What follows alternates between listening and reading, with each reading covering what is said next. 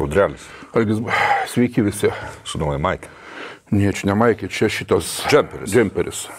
Kanadietiškas, brangus, bet jisai buvo čia pusė pinigų eina Ukrainai. Na. Kas nori, uh, tinklapį sandjavelin.com, nueinat ir ten savo, pagal savo skonį susirandat. Pareklamavau, kai sakome, nors nu, šiaip gerą darbą uh, reklamuoti yra negaila. Gerai, tai kas tiltas į Ganudino? Ai, ne aš. Ai, kad aš žinočiau, aš manau, kad, na, aišku, žino tie, kurie sprogdino. Mhm. Aš manau, kad ukrainiečiai žino. Aš manau, kad rusai nutuokia. Mhm. Nu ir galbūt dar ir amerikiečiai žino, nors nesu tuo tikras. Bet čia tikrai ne atakams, ne? Oi, Čia visko gali būti. šiaip. Žinai, vat, jeigu jau tu paklausai apie tą kamsą, tai yra toksai mūsų jau nekartą laidose minėtas mm, a, italas a, a, Tomas. Oi. Austrus. O, jo vardas pavardė yra grinai vokiški, bet jis italas. Tai reiškia, kad jisai yra tas italas, kuris gyveno Vokietijos pasienyje, kur nors Balsano provincijoje ir kuris de facto yra vokietis, bet jisai yra italas. Mm. Oi, Tomas Steiner, va, prisiminiau. Mm. Jisai yra italas artileristas, išėjęs į atsargą ir jisai vienas iš tų, kuris o, Twitteryje nuo pat pradžių turbūt išsameusiai ir geriausiai aprašinėjo Himarsų galimybės, kadangi pats jais e, šaudęs yra. O tai štai, kada šitas visas gražus vaizdas pasirodė, tai Tomas Steineris iškart pasakė, kad maždaug tai būnė pašlovinti atakamsai. Mm. Ir jo įsitikinimu, o, tai būtent krito raketa beveik statmenai o, į o, tą tilto o, tarp, tarp, tarp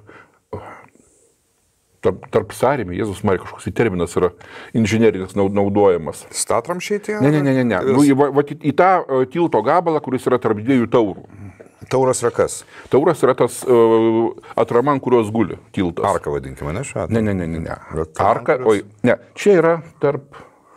Tu tvarkoji, žodžiu, į tą, į, į, į tą gabalą, kuris uh, lūžęs yra. Mhm. Kad iš viršaus nukrito atakamsas, pramušė ją keurai. Čia mes kalbame apie asfalto, apie, apie Va, va, automobilio, va, ne? Kur Okay. piešinukai, va, Jo. yra didelė raudona strėlė iš apačios ir sprogimas iš viršaus nupaišytas mano. Vat, kad vat, į tą vietą maždaug smigo atakamsas, jisai ir, ir kažkur tai ties viduriu būdamas, jisai sprogo ir todėl tenai visą dalyką taip gražiai numetė. A, tai aišku labai kaip ir faina idėja būtų, daugelis beje pasisakė apie tai, kad sprogimas buvo daug maž iš apačios, nes, na, vat, tas tiltas visas yra numestas gre- gre- gretai, kur, gretai, e, matome, yra numesta nuo tramų. Šitas dalykas ir apskritai, jeigu mes pa- pažiūrėsime, pavyzdžiui, į tiltą, į tiltą per visą ilgį, čia Maksaro yra Palidovo, ne? Čia? jo, e, Maksar palidovo e, nuotraukos, kur yra. Va, tai mes lab- labai gerai matome, kad štai yra viena konkreti vieta, kur o, tiltas yra perkristas. Paskui vienas e, tas e, tarpatramis, kuris yra įkritęs į vandenį ir gerokai toliau į kairę yra tarpatramis, kuris yra tiesiog nuvažiavęs nuo tauro. Suprantu, kas yra tauras vis dėlto? Tauras yra va ta, e, Ta kolona, kuri laiko? ta, ta kolona, kurios guli. Čia yra inžinerinis terminas tauras. okay. Nes jie dažniausiai tai raidės formos būna. Mm, Tai ir visi, e, nu, pačioj pradžioj, kai e, buvo, dar nebuvo Maksaro nuotraukų iš viršaus, visi žiūrinėjo taip, nu, nuo tilto lygio visą šitą reikalą. Buvo manoma, kad čia buvo mažiausiai dvi, galbūt ir trys atakos, kadangi, nu, vat, trijose vietose tiltas trūkęs yra. Mhm.